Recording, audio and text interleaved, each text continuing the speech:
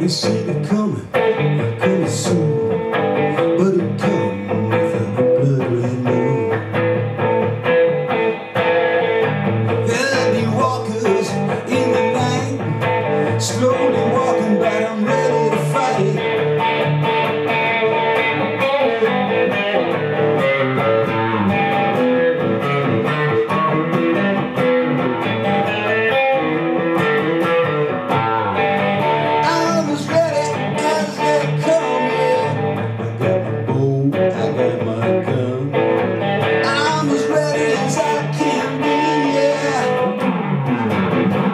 is gonna mess around with me.